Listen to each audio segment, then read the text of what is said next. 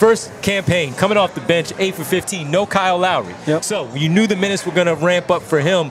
23 minutes and 58 seconds, just under 24. He had four turnovers. Sometimes Cam Payne can do some things and get a little crazy with the basketball, but his shooting and his shooting, his defense in a sense, because he had two block shots and a steal, and this one also. But his shooting uh, of going five for ten, took the most threes on the team this afternoon, and he finished with 23. And not only did he do that, but he hit some big shots in the fourth quarter where they needed them most. As the Clippers again shrinking the lead, you needed to pull away. Cam Payne, he does not. He does not wait. He is not afraid in any No, moment. yeah.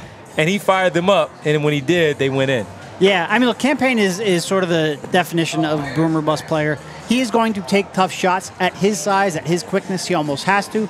Even his shots at the rim are usually contested. Certainly, his threes, his step back threes, his side steps threes are tough attempts a lot of times. And the shot side release. Yeah, it takes him a little shot. while to get it off, so Yeah. it's a, you have a chance to close out on it.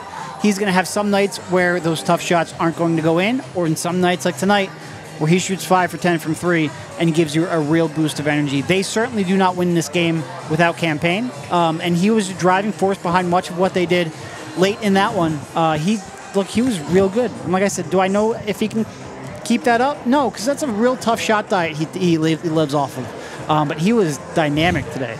He was really, good. Yep. Five points in the first quarter, five points in the second, five in the third, and Yeah. then he went off for the eight. Not necessarily went off, but those two or four that he took there in that fourth quarter, some big shots again, folks, because the Sixers were. This is during their stretch where they went on a run. At one point, it was like 18-2 run, and Cam Payne was a mm-hmm. big part of that. He had a he had a tough shot where he took a, a bad three, but then he had the two good ones where they were in rhythm because he had already done something on the positive side where it felt good, and he took it. And the Sixers again were on that run. It wasn't just him; it was Tobias Harris with a big shot.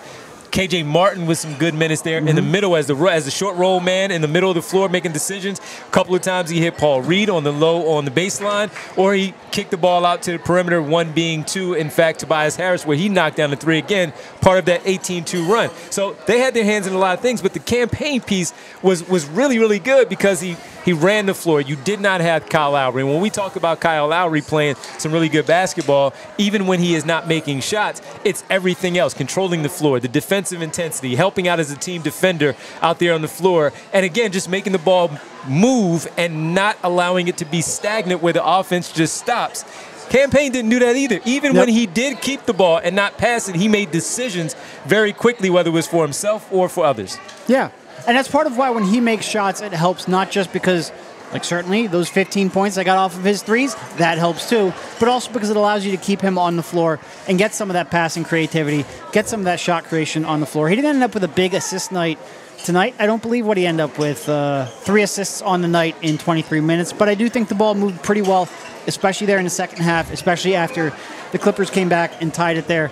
Uh, no, he was he was real good. Uh, really, the ball movement overall, with the exception of some Tobias Harris moments. And look, some of those moments Tobias was making them. Yeah. So he was making those you know mid post fadeaways that he doesn't always make. But I thought overall the ball movement was good, and that a lot of times leads to 37 three point attempts. And unfortunately, this is the kind of team where lately they can get up 37 three point attempts and make eight of them, Yeah. and you have no chance to win. But that ball movement does lead to some high quality shots. All silly like the mayor.